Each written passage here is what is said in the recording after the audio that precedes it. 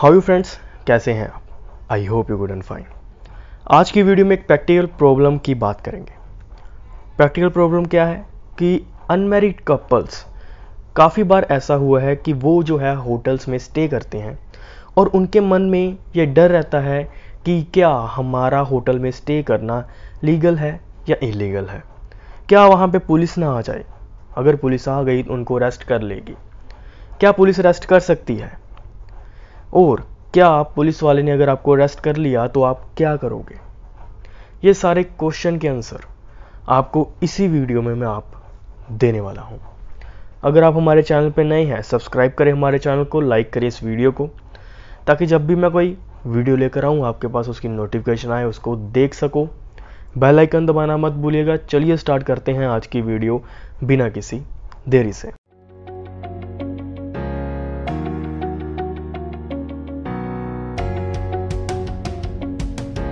सबसे पहले फ्रेंड्स जो अनमेरिड कपल्स होते हैं, वो होटल में स्टे जब करते हैं, उनके मन में जो मैंने पीछे आपको क्वेश्चन बताए, ये सारे उनके मन में होते ही होते हैं।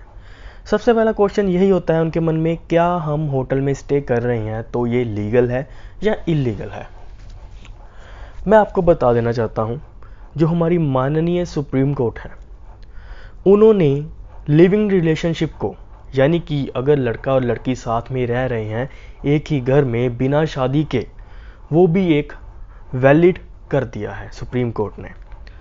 उसको भी फंडामेंटल राइट यानी कि मूल अधिकार का दर्जा दे दिया है।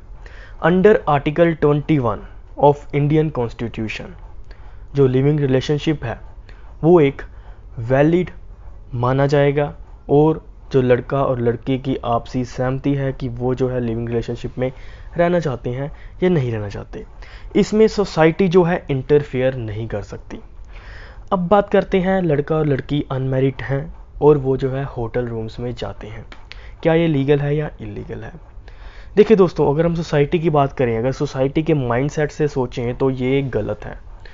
सोसाइटी इसको एक्सेप्ट नहीं करेगी कि अनमेरिड कपल जो हैं, वो होटल रूम में इकट्ठे रहें। लेकिन अगर हम कानून की बात करें तो अगर लिविंग रिलेशनशिप को सुप्रीम कोर्ट ने फंडामेंटल राइट दर्जा दे दिया है तो जो है लीगल जैसे कि हम स्टे करेंगे होटल में तो वो भी एक तरह से लीगल ही होगा। सिंपल शब्दों में, जी हाँ ये लीगल है, आप जो अनमेरिड कपल हो, आप होटल में जाके स्टे कर सकते हो। इसके साथ ही ध्यान में रखने वाली ये बात है कि अगर आप होटल में, आप अनमेरिड हो और होटल में जा रहे हो स्टे करने के लिए तो आप जो है मेजर होने चाहिए। यानी कि 18 साल से ऊपर आपकी एज होनी चाहिए। लड़के की भी और लड़की की भी। अगर आप मेजर हो, आपके पास आइडेंटिटी प्रूफ है तो आप होटल में जाकर स्टे कर सकते हो। होटल वाला भी जो है, आपको मना नहीं कर सकता। ओके। सो, अनमेरिड जितने भी कपल होते हैं, वो होटल में जाते हैं। ओके, उनको आईडी प्रूफ शो करना पड़ता है। होटल वाले उनसे आईडी प्रूफ मांगते ही मांगते हैं।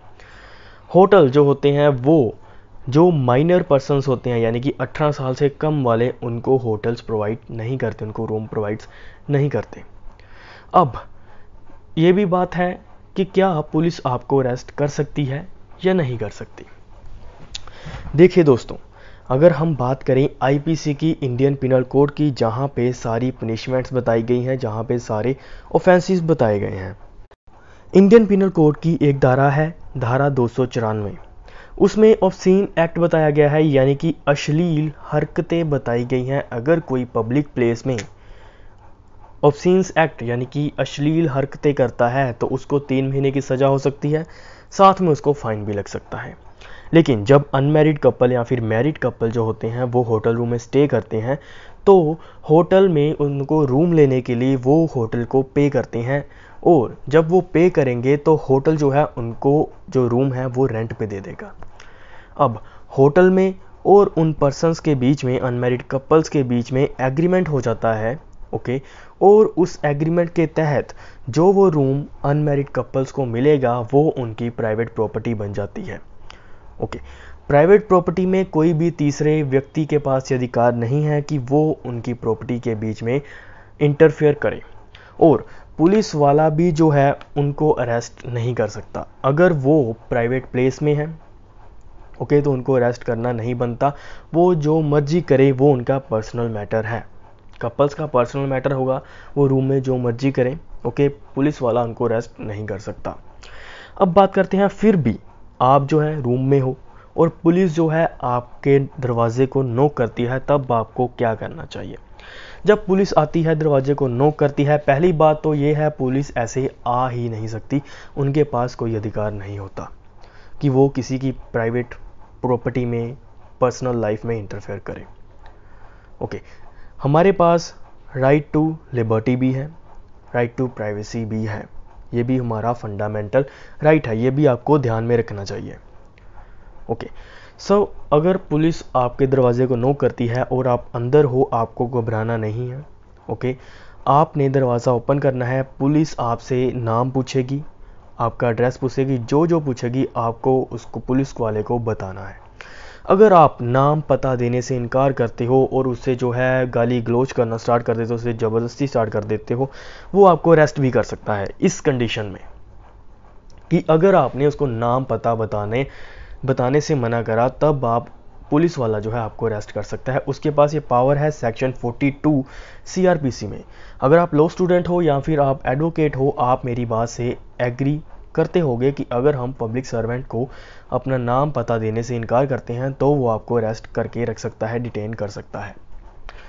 लेकिन अगर पुलिस वाला आपसे जो है, आपका नाम पता पूछता है, आप उसको बता रहे हो, साथ में आपने क्या करना है, उस पुलिस वाले की वीडियो रिकॉर्डिंग करनी है या फिर कुछ पिक्चर्स कलेक्ट कर लेनी है, जब वो आपसे नाम पता पूछ रहा होगा। ओके इससे क्या होगा? इससे आप उस पुलिस वाले के खिलाफ कंप्लेंट कर सकते हो कि वो हमारी पर्सनल लाइफ में इंटरफेयर कर सकता है। उसके पास कोई अधिकार नहीं है कि हम अपनी पर्सनल प्रॉपर्टी में हैं और वो हमारे ऊपर आकर हमारे से इन्वेस्टिगेट कर रहा है। उसके पास कोई अधिकार नहीं है। ओके आप उसकी कंप्लेंट कर सकते हो। अब जो है, आपने सब कुछ पुलिस वाले को बता दिया, फिर भी पुलिस वाले ने आपको अरेस्ट कर लिया। इस कंडीशन में क्या होगा? पुलिस आपने पुलिस वाले को थोड़ा सा बताया, कानून की, कानून बताया, पुलिस वाला थोड़ा सा गुस्सा हो गया कि तू मुझे कानून की बात बता रहा है तो उसने जो है आपको अरेस्ट कर लिया। एक बात ध्यान में रखना, जब भी पुलिस वाला आपको अरेस्ट करेगा, उसके 24 घंटे के अंदर अंदर जो है आपको जो है मैजिस्ट्रेट के पास पेश करा जाएगा। पहली बात तो ये, पुलिस वाले का आपको अरेस्ट करना ये इलीगल है। इसके लिए भी आप जो है सुप्रीम कोर्ट या फिर हाई कोर्ट में रिट पटिशन डाल सकते हो। रिट डाल सकते हो, कौन सी रिट डलेगी? हैबियस कॉर्पस रिट डलेगी। क्योंकि उन्होंने जो है आपको इलीगल डिटेन करके रखा है, चाहे उन्होंने आपको अरेस्ट करा एक दिन के लिए, लेकिन वो इलीगल है। अब, पुलिस वाले ने आपको अरेस्ट कर लिया, आपको 24 घंटे के अंदर मैजिस्ट्रेट में पेश करा जाएगा। मैजिस्ट्रेट में पेश करने के बाद आप मैजिस्ट्रेट को सारी बात बता सकते हो सर कि हम ऐसे प्राइवेट रूम में थे, हमने इनको जो है नाम पता बताया, लेकिन फिर भी इन्होंने अरेस्ट कर लिया।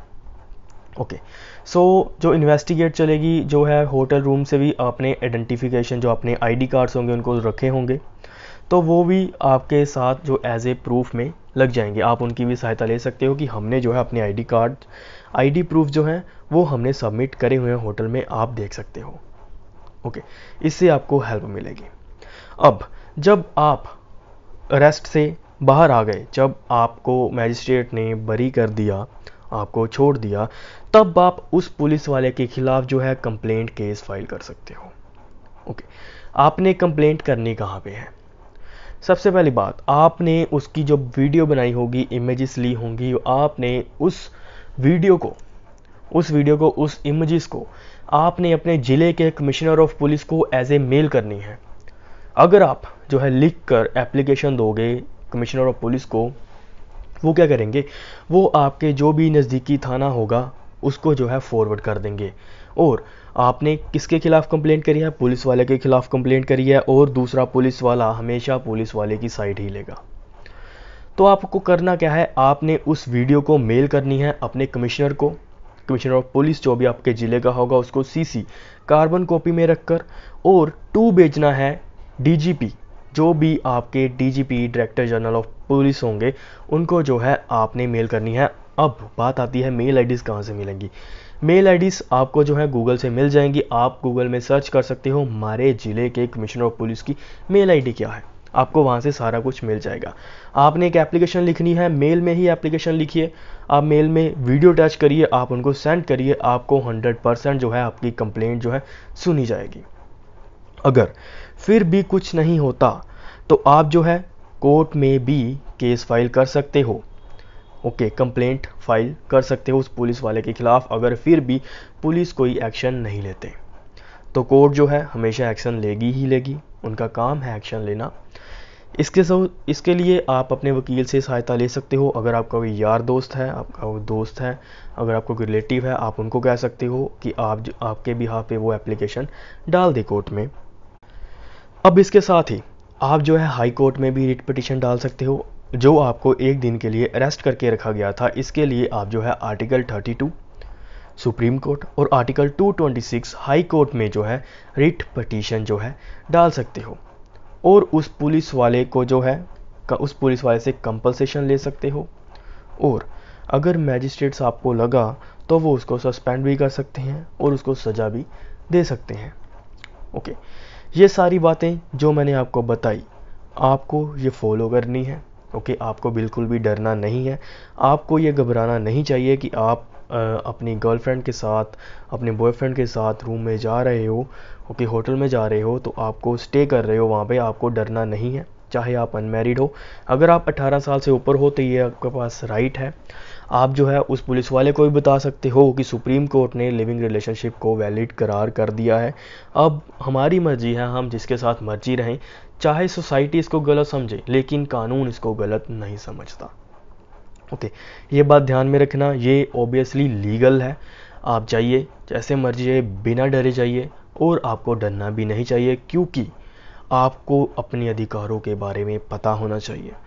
अगर आपको ये वीडियो थोड़ी सी भी अच्छी लगी हो, इस वीडियो को लाइक ज़रूर करें, अपने दोस्तों के साथ शेयर करिएगा। उनको भी ये पता होना चाहिए, उनको भी ये अपने अधिकारों के बारे में पता होना चाहिए। इस वीडियो को लाइक ज़रूर करें चैनल को अभी तक अपने अभी तक आपने सब्सक्राइब नहीं करा सो प्लीज़ सब्सक्राइब ज़रूर कर लें और बेल आइकन ज़रूर दबा दें। ऐसी ही वीडियोस जो हैं, मैं आपके लिए लाता रहता हूँ। और अगर आपको कोई डाउट है, मुझे कमेंट बॉक्स में बताएँ। मैं आपको कमेंट बॉक्स में ही रिप्लाई करूँगा या फिर हो सके तो एक अलग से वीडियो ज़रूर लेकर आऊँगा। तब तक के लिए हमारे चैनल के साथ बने रहिएगा। लीगल एजुकेशन और नॉलेज लेने के लिए हमारे चैनल को सब्सक्राइब ज़रूर करें, ताकि जब भी मैं कोई वीडियो लेकर आऊँ, आपके पास उसकी नोटिफिकेशन आ जाए और आप उस वीडियो को देख सकें।